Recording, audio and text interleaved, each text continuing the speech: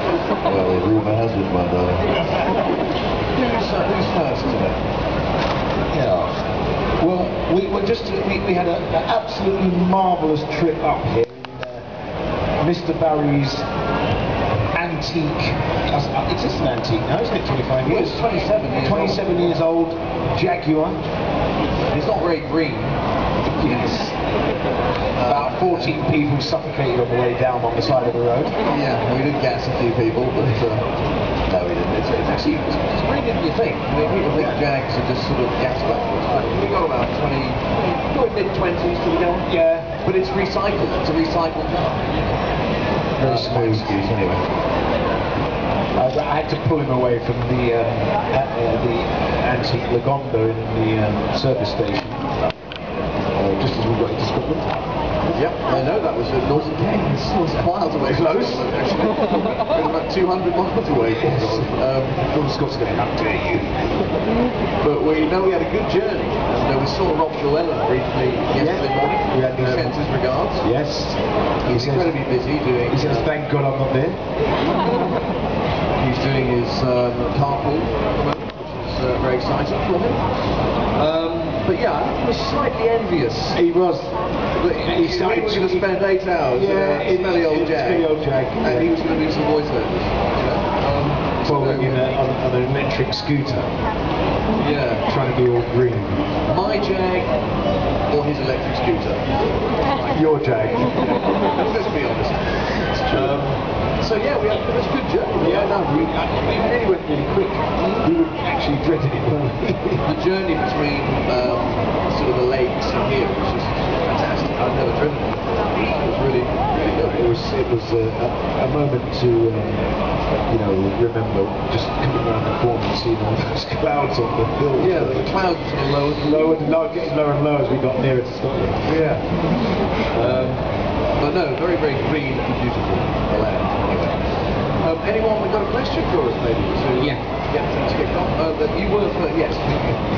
What actually is a smeg? Oh man! Are there any children here? Why don't we talk more about the scenery in Scotland? Yeah. Let's go back to the glens and the highlands. Yeah. Uh, Sneg. Um, Meg. It's hard to look people in the eyes and talk about it. We've got underage people. We, Yeah, there's here. We can't really give you the full. We can sort of get medical about it, I suppose, because it is a medical sort of term, isn't it? so they say. What kind of medicine you've been taking? Um, it's Well- a fridge. Next question.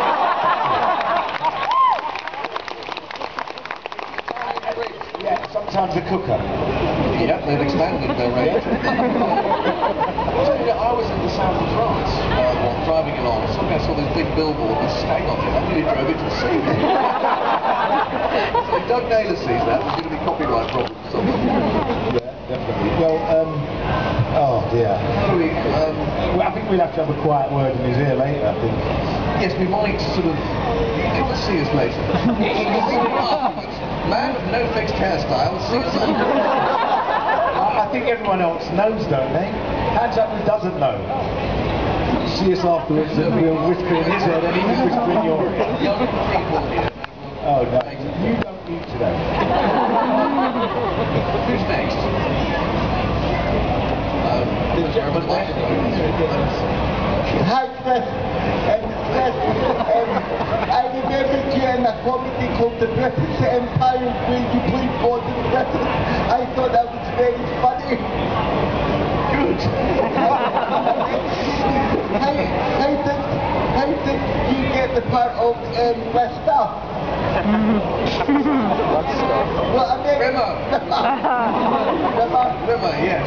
Um, a Brittas Empire fan, no less. Certainly a British World War. How did I get the part of Rimmer? I uh, auditioned for Doug Naylor. I knew Doug Naylor and Rob Grant from doing some sketches on the Jasper Carrott show in uh, 83, 84. And of course, they worked on Spitting Image, they worked on Spitting Image, so I knew Rob and Doug pretty well. And uh, I went along on the same day as Craig, actually, and there was a few other actors there, and we all swapped around the park. read Marilla and Lister on there. And actually, I wanted to play B. Lister. Because I sort of a messy kind anyway. And I thought, well, why not? You they sort of, I read the Rimmer. And um, a few months later, I got, you know, a letter saying actually they cast someone else. Uh, and then three weeks after that, they said, no, we've changed our minds, we want you to play Rimmer. So um, quite a convoluted process, but um, good fun. And I just slept with a producer. That's how you do it, innit? I would like to sleep with a Red Bull producer. I was desperate for a gig though. Who's, uh, next? huh? Oh, yeah, just shout. Um, we have, uh, Do we have any plans to go back to Hollywood? I've never been. We've both been in Hollywood films and never seen LA.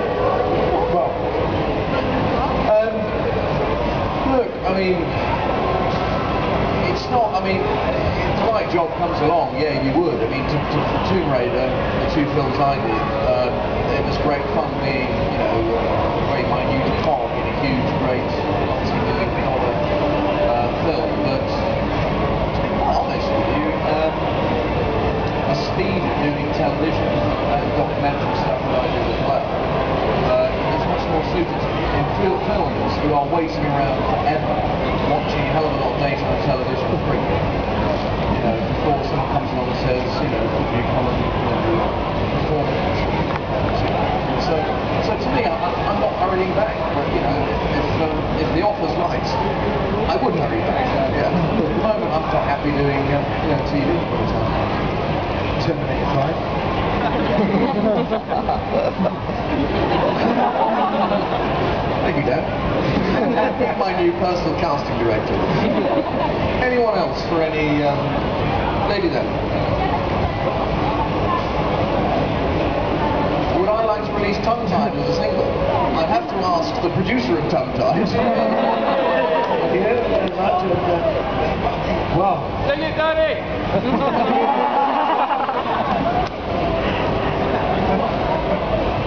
you've got it on your phone. You know? The funny thing about it is it's one of the most um, asked questions I get about Tongue Tied. It, it, it was 1993. The actual original one was, um, uh, as we said, that was Series 2. You know, that was like 20 years ago. Someone's just got, I've just signed a, a VHS of it. Exactly, yeah, me too. I mean, and That's an antique. I mean, exactly. So's the actor. Can you imagine me trying to do that now? I'd need about four boxes of round checks. you know, with a couple of Red Bulls. We spent the whole week doing that one song. Yeah, it, wa- it was. choreography. It was Yeah. great. I still didn't know. Well, yeah, the guy who choreographed it was actually the guy that played Queeg.